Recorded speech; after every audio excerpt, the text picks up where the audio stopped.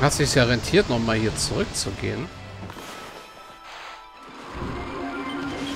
Dann können wir nämlich Sachen schmelzen.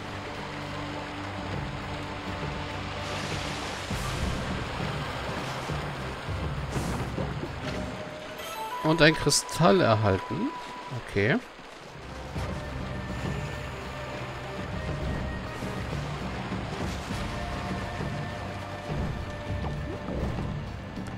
Nächstes hier wieder hoch. Das heißt nämlich, dass in dem anderen Raum jetzt auch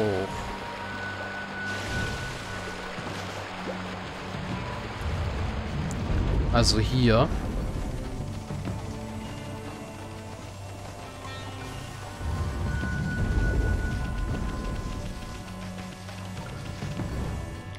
Das Ding brennt.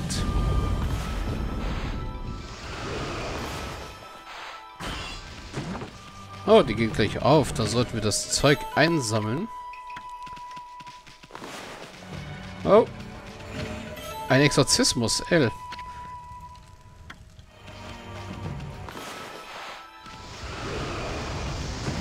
Und Bullenhörner.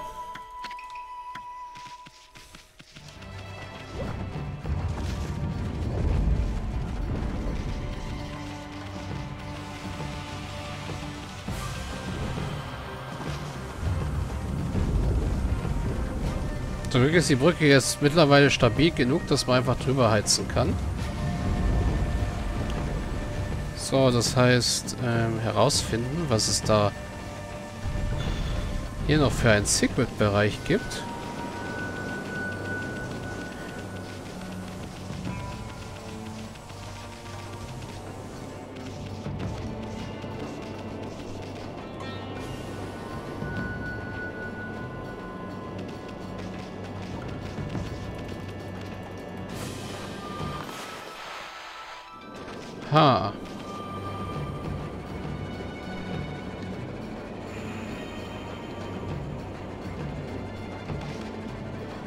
Gucke auf jeden Fall gerade in die richtige Richtung.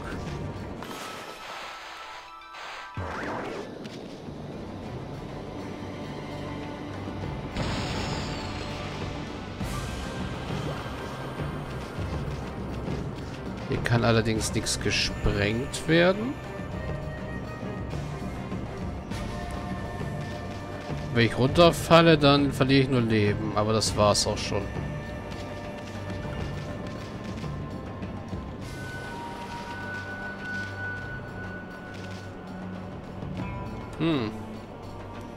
Das interessiert mich jetzt gerade aber schon, weil da wo ich gerade bin, gibt es noch ins Erdgeschoss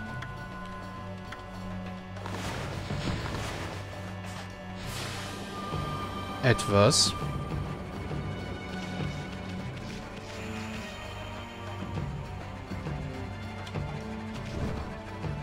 Aber hier ist nichts. Hier lande ich nur immer irgendwo und verliere Leben. Mhm.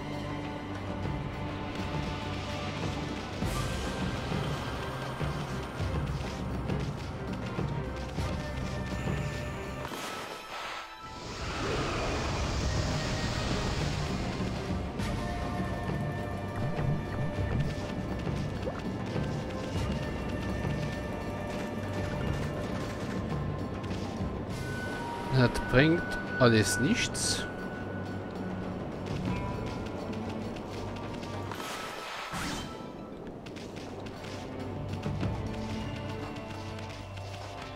Nö, die Fahne abhacken bringt auch leider nichts.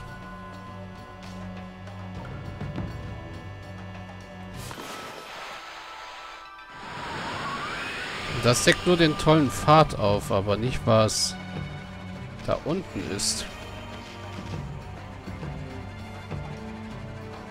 Darunter fallen bringt mir sicher auch nichts.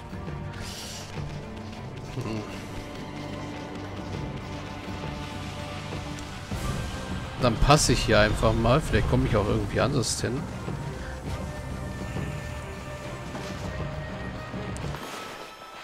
Ein Dämonenhändler. Räuchergefäß, das kennen wir ja bereits.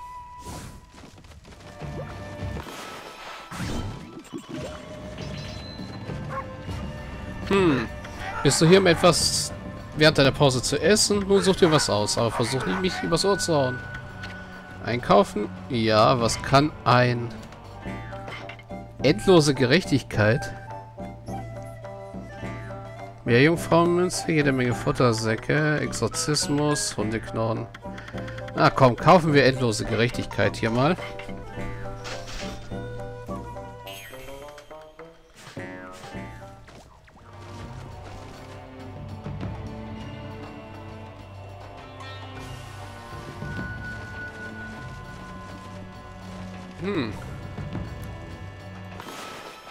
Kommen wir höher.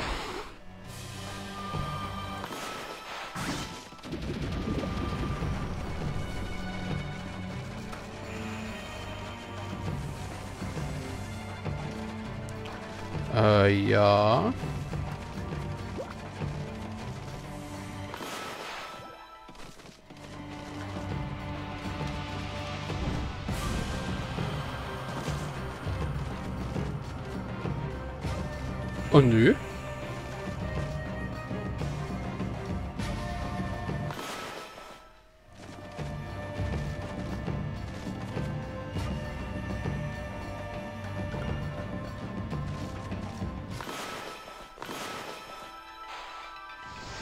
Warum zur Hölle ist da eine Kanone?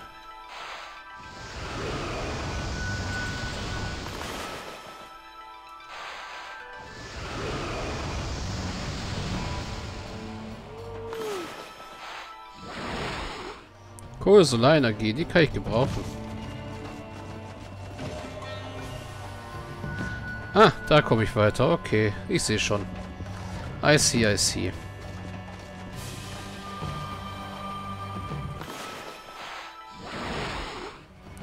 Kann ich euch eigentlich schneiden?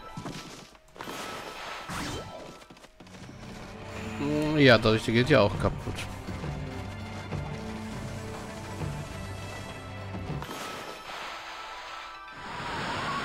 Falsche Richtung.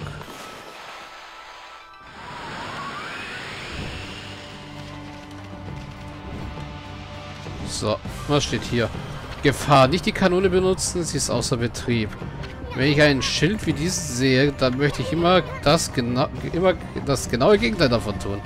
Schätze, ich sollte meinen Titel ändern zu Isun der Furchtlose. Er ist so der Verrückte, hä?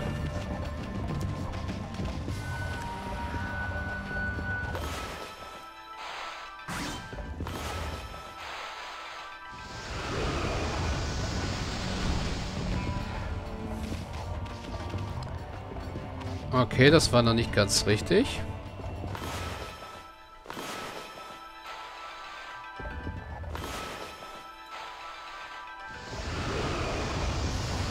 Das war zu spät.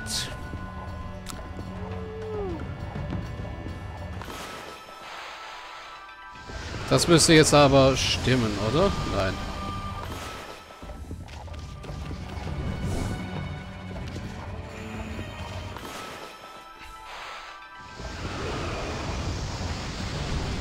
Ja, das hat ungefähr gepasst. Danke, alte Kanone.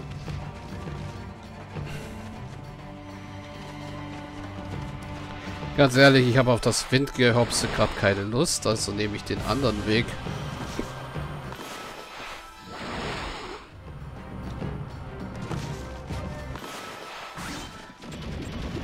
Sammle hier ein bisschen Solarenergie ein und Guck mal, was uns hier hinten erwartet.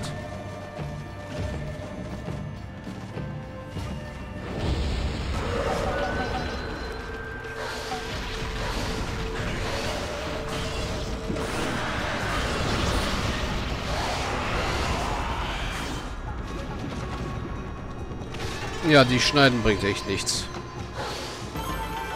Also ich meine an Dämonenzähnen.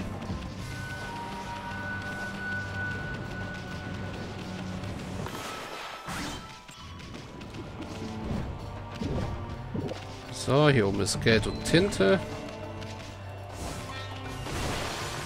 Nehme ich beides immer gerne.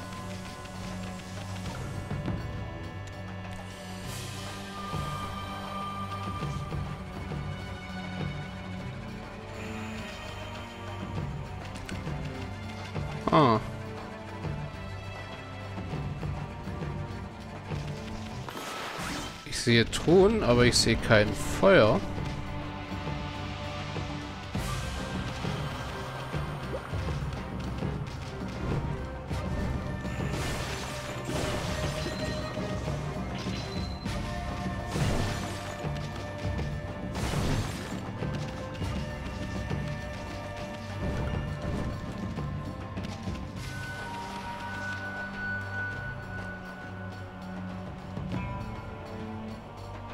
Da ist eine Nische und da ist eine Nische, aber es ist nirgendwo Feuer.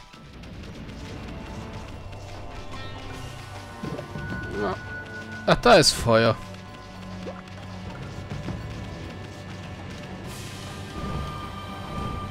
Au.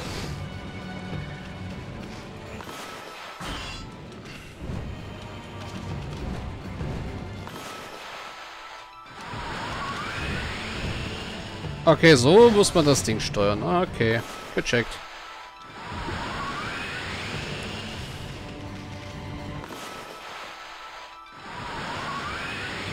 Weil das macht sonst großes, großes Aua.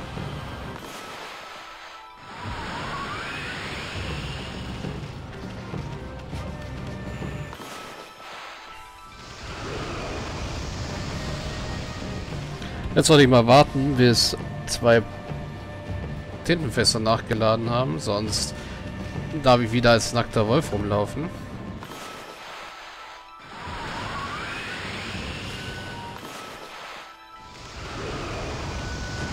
So.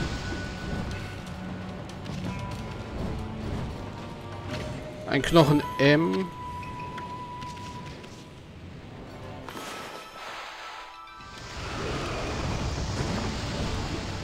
Mist, da komme ich jetzt nicht mehr rechtzeitig hin. Au. Okay, die Truhe geht einfach wieder zu.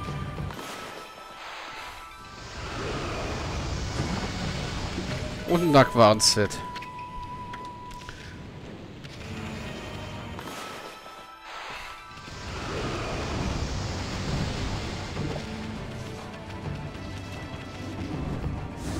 So.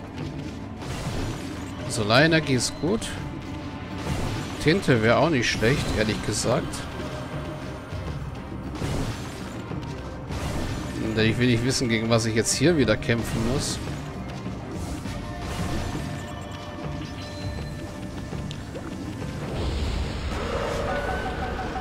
Ach, gegen Alltagsgegner.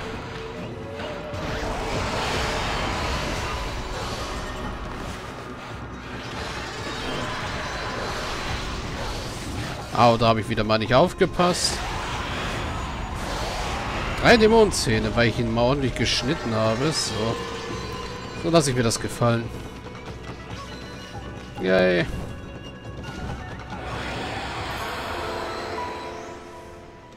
Letzte Zutat. Schwarzdämonhorn. Horn, das in Gewürze getaucht wird für Roshis Vorspeise. Ja, lecker. Zum Glück muss ich das Zeug nicht essen.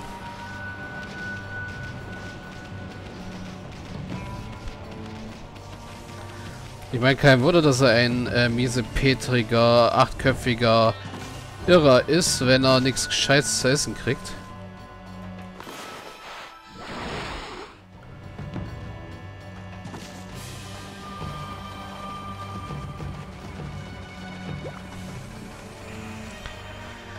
Tja, ich würde aber trotzdem immer noch gerne wissen, was es mit dem anderen Ding auf sich hat.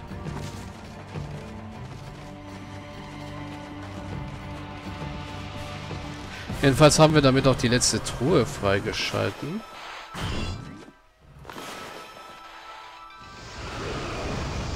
Hallo. Einmal schmelzen, bitte. Goldener Pfirsich. Mystische Frucht für den Magen komplett. Ja, mal wieder so einer.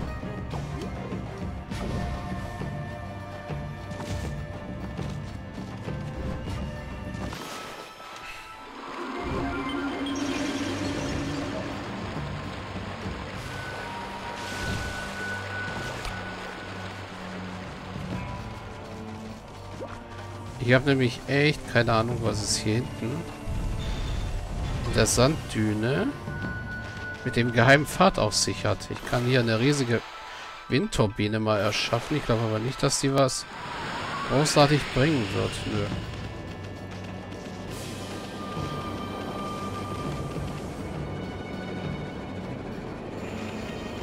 Achso, ich wollte gerade sagen, hey, die Feuerschalen sind hier aus, aber die habe ich gerade ausgepustet gehabt. Hm.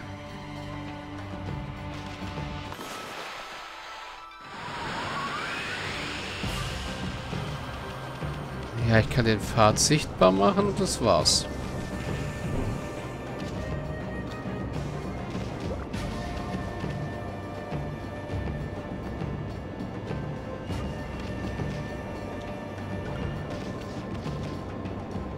Und egal, wo ich hier runterfalle, das bringt mir nichts.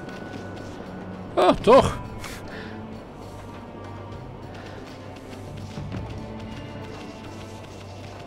Okay, ich hätte das Loch noch ausprobieren sollen. Jetzt kommt aber die super Fangfrage. Was bringt's mir? Ah. Eine Perle. Perle, die aufgrund der Reinheit zu dieser Größe wachsen konnte.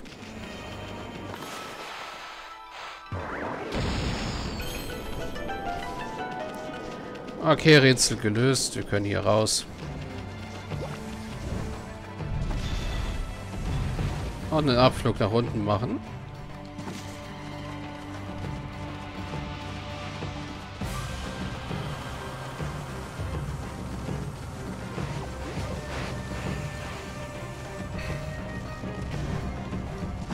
Und bevor wir Mr. Gourmet Koch sein Zeugs geben, wird gespeichert.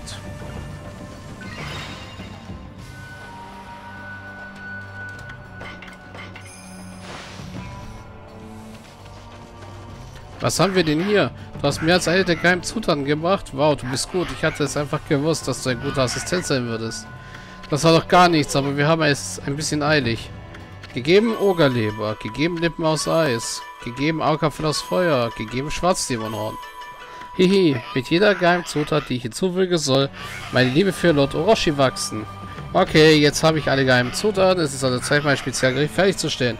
Du götzt deine Augen an meinem tollen Fähigkeiten, Schätzchen. Mit ganzem Herzen und Lieben der Inbos werde ich eine Symphonie erschaffen aus dämonischer Vollkommenheit.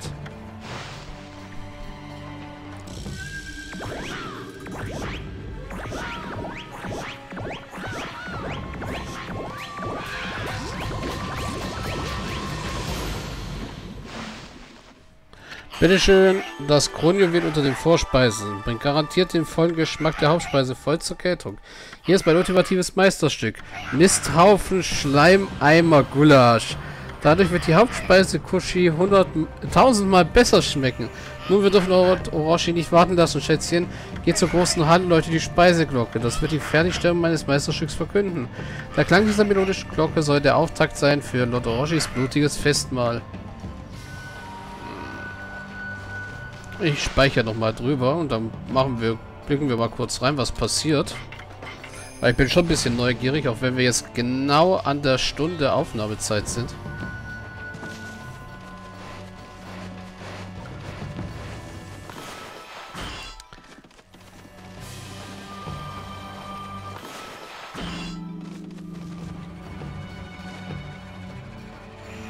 Ja, passiert nichts. Hehe, endlich, das Mal ist fertig. Leute, die Speiseglocke. Leute, sie auf wie Lord Orochi Köpfe hat. Die Glocke zu läuten ist eigentlich meine Aufgabe, zu sehen, wie du die ganze Zeit drauf wartest, sie zu läuten. Dir die Ehre diesmal überlassen. Setze deinen ganzen verwirrten Körper und deine ganze böse Seele dabei ein. Lass sie wild und laut erschallen.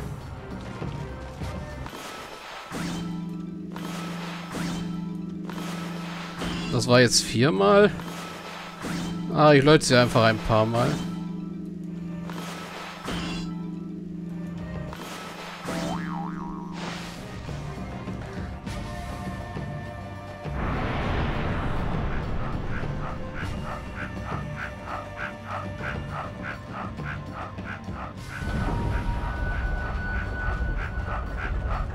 Äh, wir wollen da mitfahren.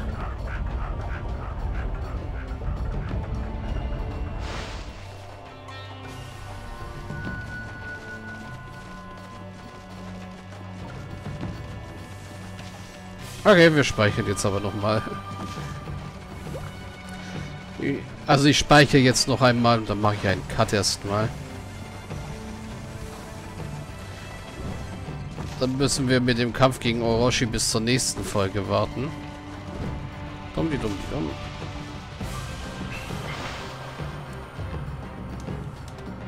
So. Und dann gibt es hier einen Cut. Also, bis gleich.